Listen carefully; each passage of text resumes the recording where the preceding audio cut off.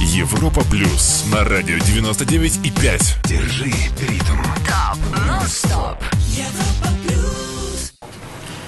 Добрый день, в эфире программа «Разворот» в студии Оксана Антоненко. Добрый день, и Вадим Родионов. Помогает нам звукорежиссер Евгений Копейн. Прежде чем мы начнем, представим нашего гостя. По традиции напомню каналы связи. Во-первых, телефоны прямого эфира 672-12-93-9 и 672-13-93-9. Присоединяйтесь, звоните, а также пишите нам в видеочате на портале mixnews.lv. А в гостях у нас сегодня глава Ассоциации вещателей Гунта Лидока. Здравствуйте. Здравствуйте.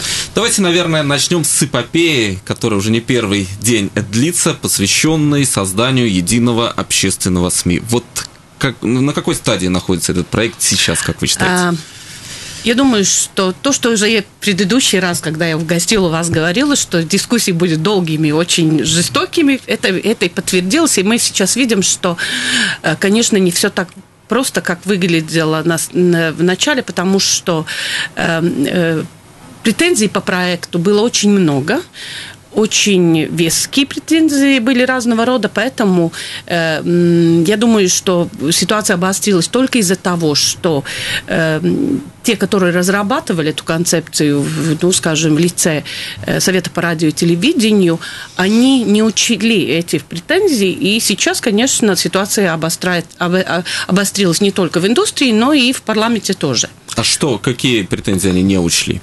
Они не учли очень много, очень много претензий, которые были связаны э, с Э, с финансовой стороной, которая очень дорого обходится налогоплательщикам, это во-первых. Во-вторых, эм, ну, скажем так, концентрация контроля по, э, по содержанию в виде объединения латвийского радио и телевидения, которому противилось латвийское радио, эм, очень много неучтенных э, вещей, связанных, э, э, скажем, с содержанием по общественному телевидению в основном, потому что с радио более-менее ясно, что они там делают и какова программа и что они там вещают. Но на латвийском телевидении эта концепция пока не очень ясна, тем более, что сейчас ситуация обострилась возле единственной культурной программы, которая, которая была который делал латвийское телевидение 70 грамм культуры, 100, 100 грамм культуры. Э, единственный такой проект, который, ну, в принципе, должен, э, должно делать латвийское телевидение. Э, закрыли, не объяснили народу, почему закрыли. Поэтому я думаю, что конфликты обостряются очень сильно по очень разным причинам, так что я думаю, что мы еще не то увидим. А где, на ваш взгляд, кроется корень этой проблемы? Потому что, ну, вроде как бы формально со стороны понятно, что идет работа над созданием единого угу. общественного СМИ идет годами. Угу. Меняются люди, э, споры нарастают. Теперь мы видим споры внутри ЛТВ, который не может определиться, э, куда ставить культурную передачу. Плюс эти споры приходят в кабинет Сейма, что совсем, по-моему, угу. ненормально, когда парламентарии обсуждают, в какое эфирное время должна выходить та или иная передача. Э, в чем, на ваш взгляд, корень зла, скажем так? Вот... Я думаю, что самая главная проблема, что люди, работающие в общественном СМИ, во-первых, во-вторых, те, которые надзирают над этим общественным СМИ, в принципе, в лице телевидения, не могут э, толком объяснить э, налогоплательщику, зрителю, что же это за телевидение, кому оно нужно. Потому что ситуация э, ну, с легитимностью общественных телевидений очень, э, очень плохая во всей, во всей Европе, потому что э, общественное телевидение теряет, теряет, ну, скажем, вес в системе телевидения вообще, потому что коммерческие телевидения очень часто выполняют ту функцию, которую должны выполнить, выполнять общественное телевидение, и налогоплательщик не понимает, за что же мне платить платить в этом телевидении, что же я увижу такого уникального, э, чего я не увижу, например, в коммерческих телевидениях. Поэтому я думаю, что это самая большая проблема. Вторая проблема, конечно, общий кризис, который в Европе сейчас очень сильный.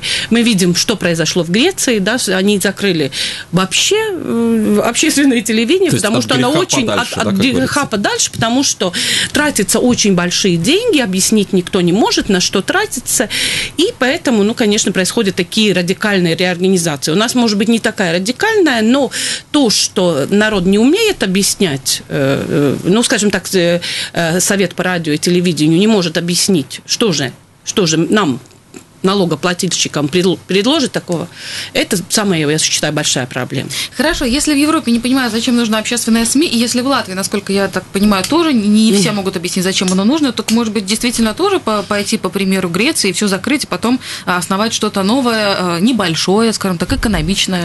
А, Я думаю, что это тоже, конечно, вариант, но я думаю, что э, вряд ли э, в Латвии поступит так радикально. Мы не такие, э, ну, не такие, э, не такой горячей кровью, как э, греки, но, э, в принципе, можно, с- конечно, дискутировать о модели хотя бы, например, модели Эстонии, которая очень хорошая модель, в которой э, маленькое уникальное общественное телевидение э, эстонское, которое создает э, только те проекты, которые не может создать э, э, коммерческие СМИ.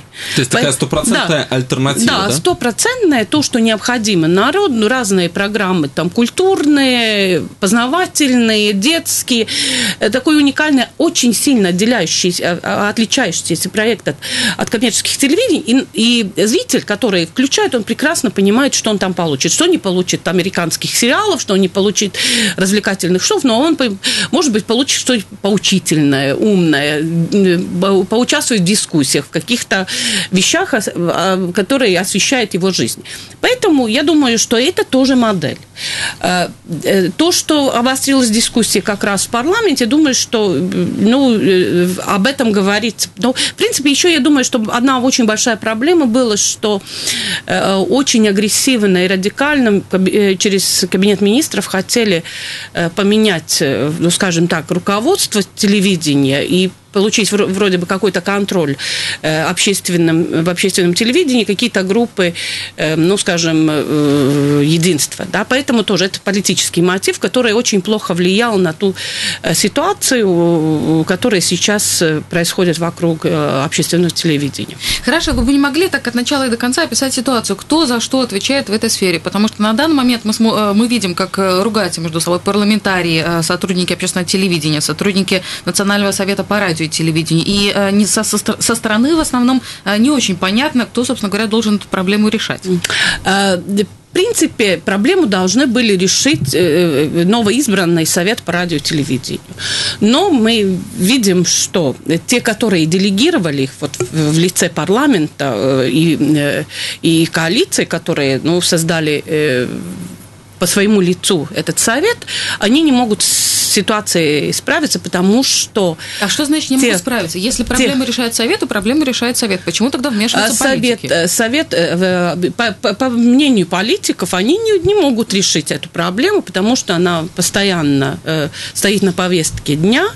Э, тем более, что бюджет по новому проекту должен э, утвердить э, парламент. Мы знаем, что мы очень сильно зависим от общественной СМИ, очень сильно зависит от парламентариев и от политики. Поэтому понятно, что если бюджета не будет, не будет и проекта. Да? Поэтому, конечно, коммуницировать придется, приходится, потому что мы, мы, мы об этом уже предупреждали э, очень давно, что такое есть, у нас в нашей стране так происходит, поэтому нечего удивляться, что такое ну, на самом деле и происходит. То есть да? получается, что общественные СМИ в данный конкретный момент являются инструментом в руках определенных Да, политических да, групп. Да, да, да. Кто контролирует сейчас Ну, общественные в принципе, в принципе, это вопрос коалиции, потому что они создали э, совет по без без как мы э, как мы видим, я уже тоже в прошлый раз говорила, у нас нет оппозиции, оппозиция не представлена в, в, в совете по радио и телевидению, потому что изменили закон и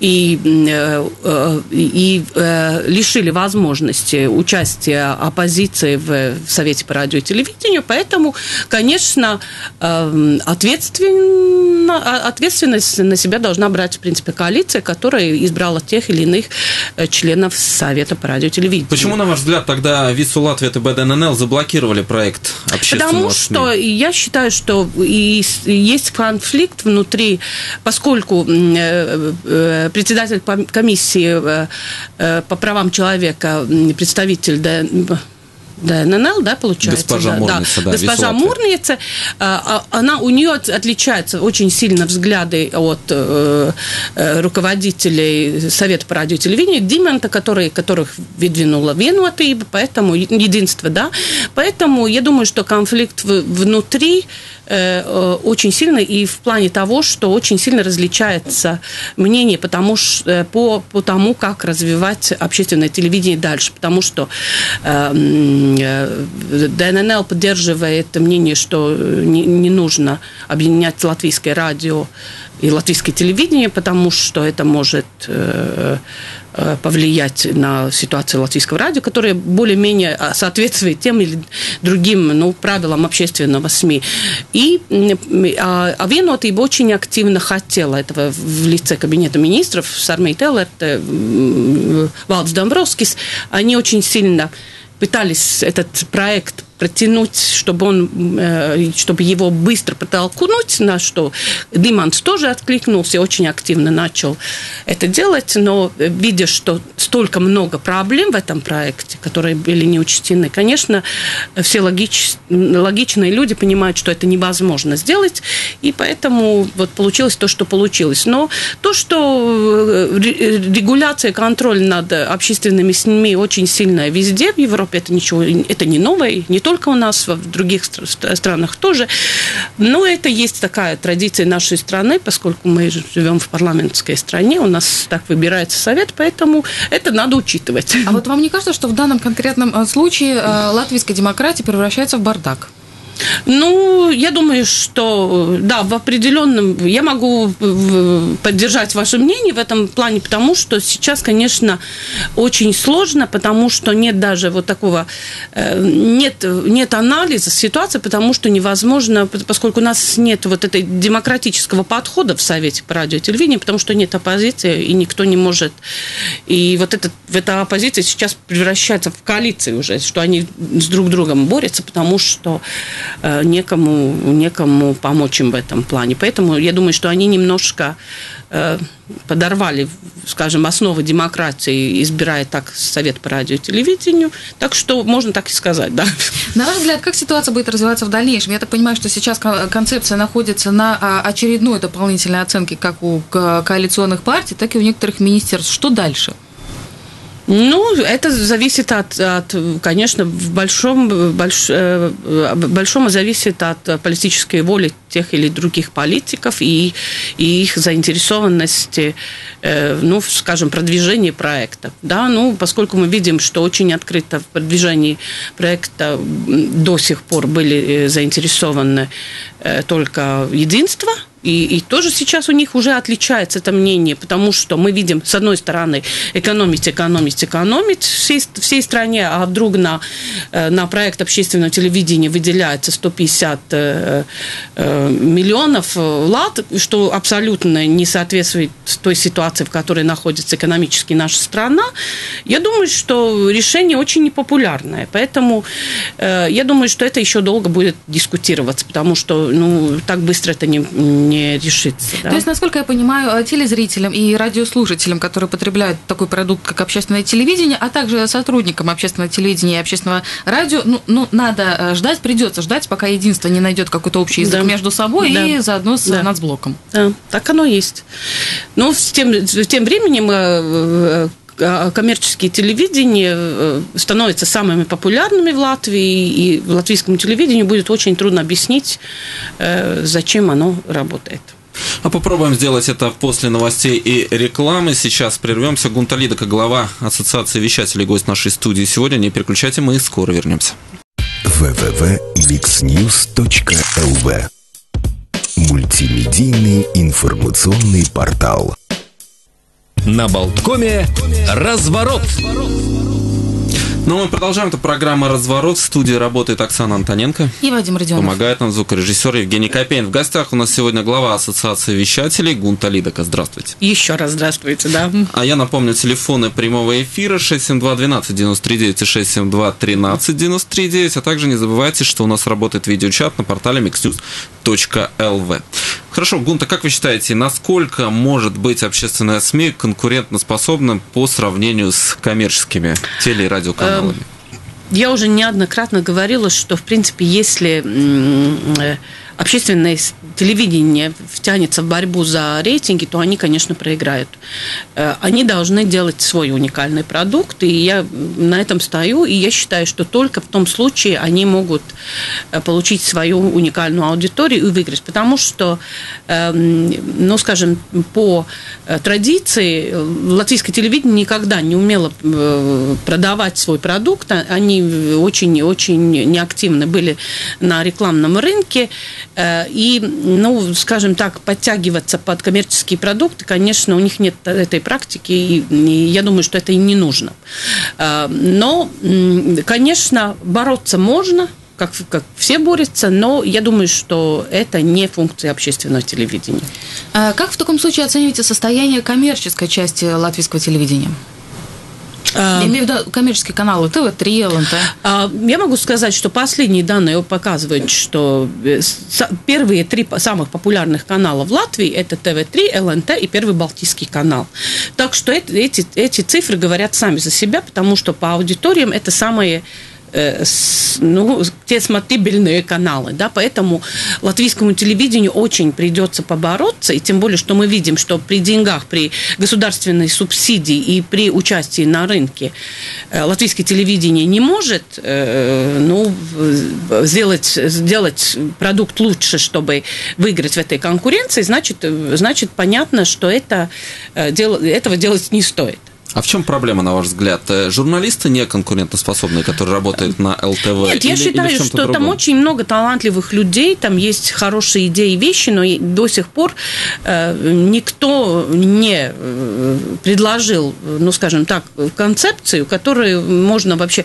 Э, Латвийское телевидение всегда борется за деньги, но только не за деньги в содержании, а за деньги в строительстве, в технологиях, в чем, в чем, чем угодно, только не э, по содержанию. И никто не может, скажем так, если BBC в, в Англии делает ну, большую-большую книгу, то, что они будут там делать и вещать на общественном телевидении, то у нас, конечно, этого нет. Мы, мы не видим, э, мы не, не видим этого предложения, поэтому я думаю, и это проблема, что это все происходит очень хаотично в последний момент. Друг, друг увидели, что будет Европа, там будет, увидели то, начинают быстро-быстро что-то творить и делать, потому что денег нет, вдруг дают эти деньги, потому что получают на, на популяризацию евро, это, конечно, не системно, потому что нет вот этой системности в работе в, в долгий срок.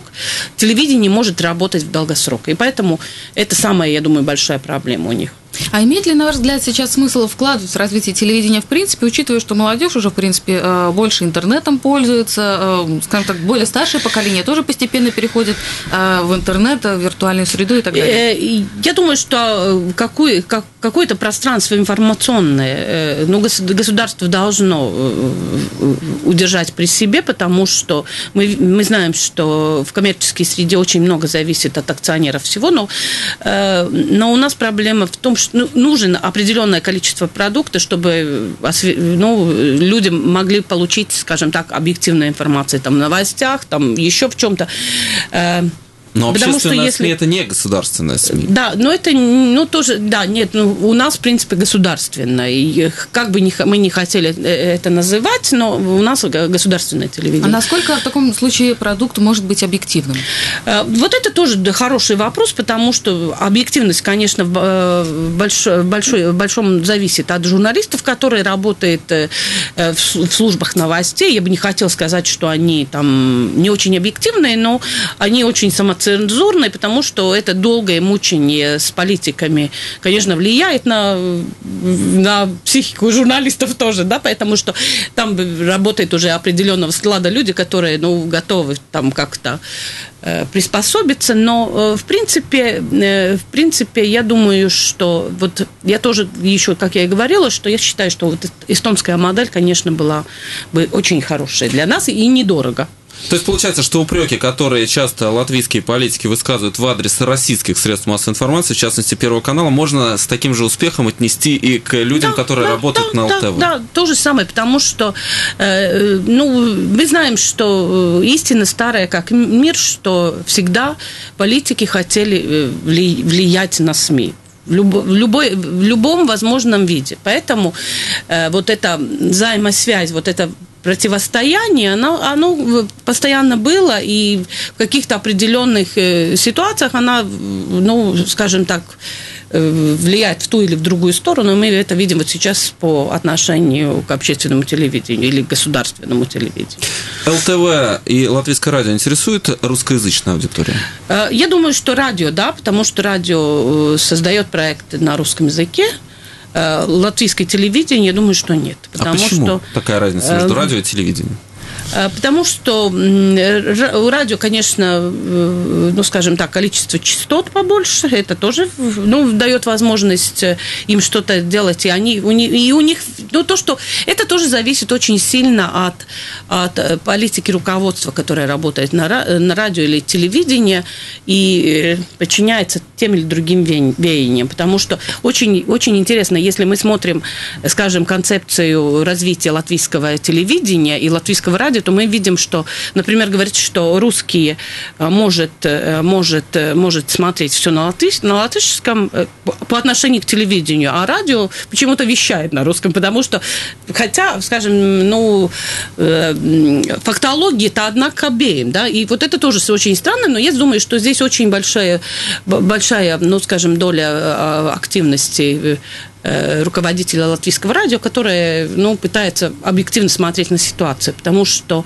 понятно, что коммуницировать придется, и нужно коммуницировать, и потом нельзя упрекать те коммерческие каналы, которые вещают на русском, что они дают какую-то свою информацию, если государство не готово общаться, скажем, с русским населением, да? Хорошо, но а с коммерческой точки зрения, ведь э, менеджмент того же латвийского телевидения должен прекрасно понимать, раз уж они участвуют на рекламном рынке, то э, русский сегмент это тоже рекламный рынок и тоже может привлекать э, рекламодателей, соответственно, деньги для развития того же латвийского телевидения. Почему не развивать этот русский сегмент, если он может приносить А, Ну, деньги? мы видим, что у нас же была общественная, э, у нас же была политика интеграции э, русских в Латвии, поэтому мы знаем, какие установки были по этому поводу. И если есть такие, такие установки, конечно, это влияет на политику телевидения. Ну, Мы политика видели- политикой, бизнес бизнесом. ну, Или там это не э, работает, нет, ну, принцип? на общественном телевидении это не работает. Там политика очень сильно влияет, ну, скажем, установки, как, должно, как должно развиваться общественное мнение, конечно, очень тесно связано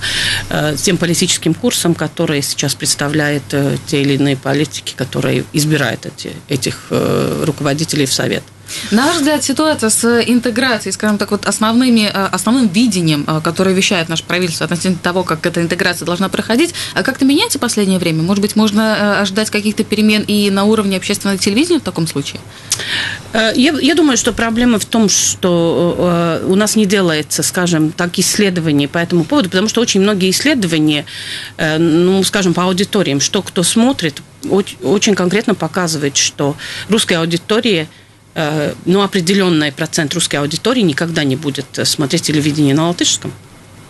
Почему это не учитывается, я не знаю, но объективно, конечно, это так. Поэтому, ну, слава богу, это да- дает возможность развиваться тем, тем или другим каналам телевизионным на, на русском коммерчески. 672-12-99 и 672-13-99. Телефоны прямого эфира. Глава Ассоциации вещателей Гунта Лидака, гость нашей студии. Сегодня примем звонок. Здравствуйте. Здравствуйте. Э, Добрый день. Добрый. Э, Вот насчет того, что русские не смотрят латышские каналы, да? Да. Вы Знаете, хочу сказать э, свой комментарий. Э, В принципе, если... э, Я бы сказал так, что, в принципе, даже русские много теряют, э, потому, э, несмотря э, каналы, потому что в последнее время я вот э, довольно много чего интересного там стал замечать, и вплоть до того, что, например, э, ночь после выборов, да, э, мне было гораздо интересно смотреть э, э, передачу по ЛТВ-1, вот когда э, пара вот Инга, по-моему, и еще мужчина Мгм. с ней вел, Инга да? Спринге там. Значительно, Да, да, И значительно, Рейдерс. ну просто а, шикарно этот, э, этот вечер в сравнении с другими пере- переда- каналами и на, на тех же русских языках. Да, то есть я просто не мог дождаться этой рекламы, когда буду смотреть дальше.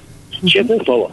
Очень Спасибо. хорошо. Но, кстати, следует отметить, что предвыборные дебаты по ЛТВ-7 транслировались с переводом на русский, Русский язык. язык, То есть да. получается, что определенные жесты все-таки какие-то делают в отношении русскоязычной Ну, аудитории. потому что выборы, конечно, это святое, потому что политикам все-таки нужно э, получить как, как, много, бо- как, как много больше избирателей. Поэтому я думаю, да, что... То есть здесь да. прагматизм все-таки Да, побеждает в сработал, да, какие-то моменты? сработал, да. Но это не тенденция, вы считаете? Тенденции нет. Давайте еще один звонок примем. Добрый день. Мне, конечно, хотел... Ой, я-. Добрый день. Да. Вы в эфире говорите, пожалуйста. Добрый.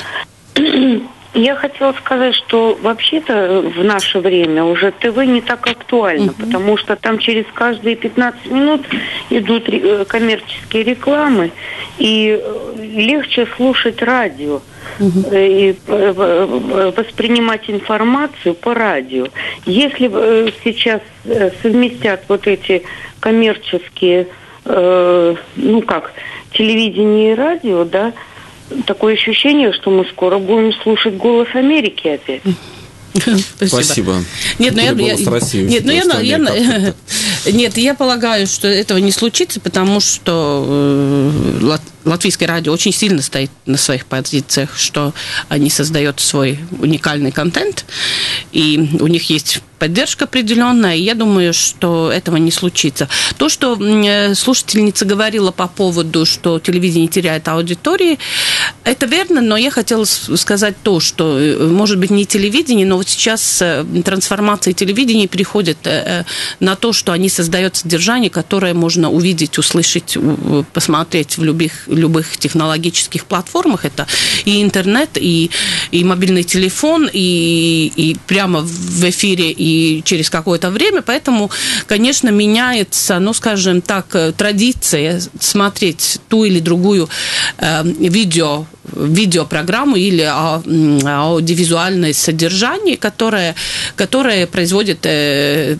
то или другое телевидение, или, может быть, может быть, даже продюсерская группа. Просто меняется очень сильно, радикально меняется вот, вот этот метод, как смотрит телевидение. Да? Но, в принципе, да, верно говорить, что очень сильно меняется все. Еще один звонок примем. Добрый день. Добрый. Здравствуйте. Я тут вас предыдущий слушатель звонил, рассказывал про свой опыт глядения ЛТВ. Вот я тоже хочу рассказать. Позапрошлый раз я включил ЛТВ, посмотрел прекраснейший новогодний огонек в стиле середины 80-х. Этого мне хватило сделать паузу на несколько месяцев, э, чтобы, ну, как бы переварить это зрелище. В сле- в следующий раз я посмотрел на 9 мая включил. Вот, ну, для интереса посмотреть, что ж там ЛТВ покажет. И показала э, в историю легионера, который вот 16 марта возглагал цветы э, памятнику свободы. Тоже отличное зрелище. Поэтому, как бы, как ЛТВ был рупором пропаганды, так и, и остался, причем некачественным и идиотским. А у меня вопрос еще эксперту. Вот, уважаемый эксперт, объясните, почему ТВ-3 стал в последнее время рупором единства и весь у Латвии ТБ ДННЛ? Вы не замечали вот этого обстоятельства, что ну, ТВ-3 совершенно ушел э, в эту поляну, совершенно поддерживает определенных политиков, совершенно ругает других. И это очень ярко и очевидно. Благодарю. Да, вот здесь э, спасибо за, за вопрос. И, во- во-первых, я хотела вот по, по традиции смотреть или не смотреть, что самое уникальное. Мы видим, что русский зритель смотрит э, на латышском, может смотреть на латышском, но, та, э, но то, скажем так, э, ну, То, интерпретации, да, интерпретации э, того или другого продукта, который делает латышское, э, латышское, ла- латышские СМИ и русские, очень сильно отличаются. Это, это, конечно, не способствует, э, ну, чтобы смотреть латвийское телевидение, потому что взгляды на ту или на другую ситуацию очень сильно различаются. Ну, по качеству новогодней программы это другой вопрос, конечно, но э, таково оно было, да. Я думаю, что я даже пере- переключилась на российский канал и не смотрела это, да. Но, тем не менее, стоит отметить, что тогда в это было вложено действительно достаточно Очень много, денег, более да. 100 тысяч ну вот это лат, тоже если не тот же самый вопрос п- на предыдущий, который мы уже говорили. А, По, по ТВ-3 я думаю, что э, очень хорошо, что зрители смотрят тот или другой коммерческий канал с тем или другим отношением. Эм, Скажем так, что отношение, отношение ТВ-3 ну, постоянно было по, ну, э, чисто идеологически похоже э, с тем, что делает единство. Но есть и ЛНТ, который тоже принадлежит эм, MTG. MT MTG Group, да, э, которые, у которых мнение отличается. Поэтому, в принципе, ну, есть определенная аудитория из традиций, которые вот то же самое, что в, ваш, ваш э, э, радиослушатель сказал, что я не могу вот это смотреть, потому что, ну, я посмотрел 9 мая, потому что это мне не понравилось, да. А есть определенная аудитория, которым нравится, скажем, э, та позиция. И, и, и самое важное, чтобы были очень много разных позиций. Если, вот, э, если у ЛНТ отличается позиция, это здорово. Самое страшное было, если бы эти позиции не отличались. Тогда мы, конечно, потеряли бы, ну, скажем так, э, формат мышления, что вот есть, есть только одно мнение. Это, вот это вот, конечно, надо бояться. Да? А как насчет позиции общественных СМИ? Здесь какая должна быть позиция, учитывая, что кормят их, в общем-то, все налогоплательщики? И позиция, конечно, должна быть общественного телевидения, которому у нас нет. То, что мы говорили, у нас чисто телевидение государственное, связанное взглядами коалиции, поэтому как только будет меняться коалиция, будет меняться взгляд латвийского телевидения, я полагаю. Давайте еще звонок примем. Добрый день. Добрый день. Добрый. Знаете, какая вещь? Э, так ведь не может быть общественного телевидения, если нет, ну, я бы сказал, единого общества или единого взгляда на проблемы общества. Тоже Спасибо. Кстати, Тоже возможно ли общественное телевидение в обществе, которое де-факто является расколотым по этническому принципу? Э, очень хороший, очень хороший вопрос и очень хорошая мысль по поводу того, что можно ли, но в принципе такова должна бы быть цель общественного телевидения, чтобы вот то, что мы говорим об интеграции всем, мы в принципе должны э, делать все, чтобы общественное телевидение общалось э, с жителями страны, чтобы способствовало каким-то все-таки сближению и, и ну, тому, что мы живем в одном государстве, у нас есть общий государственный интерес, мы все, э, ну, в принципе, нам не равнодушно, что происходит в этой стране, хотя у нас очень сильно отличается мнение, да, но, э, конечно, плохо то, что у нас не представлены все эти группы, группы, группы, группы населения, ну, вот, и, вот эта коммуникация со всеми группами, вот это самое страшное, конечно, в общественном телевидении. Я думаю, что, в принципе, э, латвийское телевидение было стараться это делать, чтобы общаться со всеми группами. Что касается коммерческого местного русскоязычного вещания, угу. на ваш взгляд, в какое, что можно сказать об этом сегменте? Ну, мы видим то же самое, что мы, э, что уже слушатель говорил, что одним не нравится, что вещает Первый Балтийский, другому не нравится, что вещает э, ТВ-3, потому что, как мы говорим, общество расколото, но слава богу, что у нас есть для, для каждого населения, каждого, каждой группы интересов что-то, что-то посмотреть, потому что себя успокоить, что, что здорово. Но э, я считаю, что у нас с русским вещанием э, хорошо, слава богу, что у нас есть коммерческие каналы. Они отличаются тоже в своих мнениях. Э, мы видим, работает, э, работают коллеги ваши очень усердно и на Первом Балтийском, и на, на ТВ-5, и сейчас и в РЕН-ТВ работает. Так что я думаю, что русское вещание, слава богу, через коммерческие каналы представлено. Да? Но я считаю, что, конечно, это должна делать общественное телевидение. Давайте еще звонок. Здравствуйте. Здравствуйте. Добрый день. А, хотелось бы вот что сказать. Да, общественное телевидение, конечно, хорошо. И даже вот угу. в России, когда мы знаем там оппозиция и протесты, да, то есть там о нем говорят даже там, где, в принципе, президент и Дума якобы выбирается с большинством. Но поймите, у нас смотреть латвийское телевидение просто невозможно. Как можно смотреть спорт, который там транслируется по нашему каналу, когда его транслируют в формате 4 в 3? Ну, квадратики, ну, невозможно. Качество ужасной картинки, потому что у всех телевизоры большие, современные. Mm-hmm а нам показывают вот такое. То есть поэтому приходится смотреть те же российские каналы напрямую, которые вещают в формате высокой четкости, в HD. Mm хотя бы в 16 на 9, пускай даже не высокая четкость, но приятно смотреть. А смотреть тол- толстячков, которые сжимают наши телевизоры, ну просто не ужасно. Спасибо большое. Спасибо. Кстати, да, это такой резонный вопрос. Угу. Почему ЛТВ и качество картинки на ЛТВ настолько ужасно? Вот э, при тех ну, бюджетах, которые навер- они имеют. Наверное, это нужно спрашивать руководителей э, латвийского телевидения, почему качество такое, такое плохое, потому что э, все время закупаются какие-то технологии, техники, и постоянно что-то э, новые появляются. Но э, я думаю, что это тоже вот, вот эта несистемность, не развитие в долгосрок, которое мешает вообще телевидению работать, ну, скажем так, гармонично, нормально, создавать что-то такое долгосрок и такое нужное для нашего общества. Поэтому я думаю, что это, конечно, вопросы решаемые, потому что технологические вопросы это не самое страшное, но это нужно спрашивать, конечно, руководство латвийского телевидения я не смогу по технологиям ответить, почему они именно так делают, но, конечно, мы тоже э, возмущаемся, что тратятся очень большие деньги на это, но результата нет. Давайте еще звонок. Здравствуйте. Алло? Здравствуйте, вы в эфире говорите. Алло, алло, добрый день. Скажите, а почему нет на телевидении? У нас же такая явная и серьезная в стране проблема, как вообще нет экономики, в принципе. Нет ее. Почему нет программы о труде, о людях, которые работают, добиваются что-то трудом? Вот реально о героях труда, которые выбиваются, добиваются, и, и чтобы развивать вот эту вот работу, чтобы люди работали и развивали страну. Спасибо. О передовиках производства. Нет, не только о передовиках. Есть на Латвийском телевидении есть такое, такое, такая программа «Латвия ВАР», но это, ну, так скажем так, о, в основном о латышских предпринимателях, да, э, такой проект есть. Э, но у нас, конечно, большая проблема в, в, в общественных СМИ, потому что как раз вчера у нас была встреча об этике журналистов, и э, руководитель службы новостей латвийского телевидения сказала, что у нас, конечно, проблема в том, что если общественное телевидение покажет хорошего Э, хороший, достойный бизнес, хорошее развитие экономическое, то это будет называться коммерцией.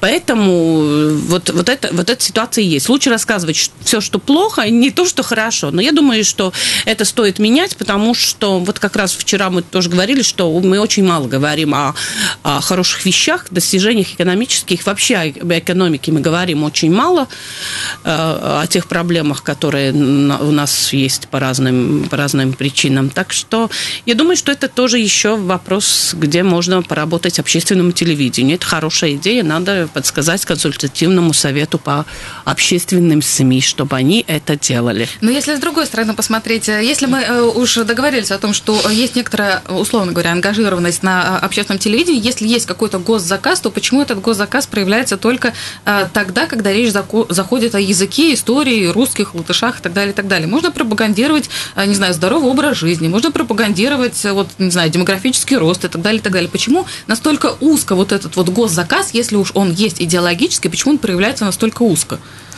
Э, это, это, это тоже то, что я уже до того говорила, что нет вот этой э, такой политики по поводу того, что же нужно, что, что для, для нас очень важно и чему нам нужно посвятить. Вот э, слушатель говорит, что нужно экономике посвятить. Вот, может быть, надо здоровому образу жизни посвятить. Сидит целый ну, консультативный совет при телевидении, сидит при совете, который, в принципе, должен вот эти желания народа и слушателей, э, и зрителя э, разработать. Но пока у нас этого, этого нет, поэтому э, очень сложно. Еще одна проблема, что э, вот тоже, э, что вчера, вот, когда мы встречались с, руководителями СМИ, что у нас идет такая, такая интересная ситуация с государственным заказом, например, на, на разные проекты телевизионные, да, что деньги даются вот на какой-то конкретный проект, если есть деньги, делается проект. А осмотреть на страну и развитие в, общ, в общем никто не готов. Да? И это самое, я тоже считаю, что это самая большая, чтобы финансировать конкрет, конкретную концепцию, конкретное развитие, э, ну, скажем, общества и, и, и в, э, в контексте с общественным телевидением, деньги даются на какие-то очень узкие вещи. Да? И это неправильно тоже. Давайте я зачитаю сообщение, которое угу. мы получили по каналам видеочата, и в частности наши радиослушатели пишут. Мне кажется, что национальному каналу надо заниматься не пропагандой режима и навязыванием идеологии, а объединением народа и воспитанием да, патриотизма к своей маленькой и красивой стране, а не разделять по национальной принадлежности. Вот один наш радиослушатель Как красиво написал. сказал. А другой Красиво. наш радиослушатель пишет, что зачем нам общественное телевидение, если это всего лишь один из способов или видов подачи информации. Давайте тогда создадим общественный интернет, общественные газеты, давайте в обязательном порядке создадим общественные залы, художественные галереи и так далее. И за все это будем брать налоги в обязательном порядке. Я сразу запишусь в художники, хотя таковым и являюсь, пишет наш радиослушатель. Ну что ж, угу. вот такой, наверное, поставим на этих сообщениях точку. Гунталидок была в нашем эфире на протяжении этого часа. Спасибо вам большое. Не за что. Эфир провели Оксана Антоненко. И Вадим Родионов. Помогал нам звукорежиссер Евгений Копен. Всего доброго и до встречи. www.mixnews.lv Мультимедийный информационный портал.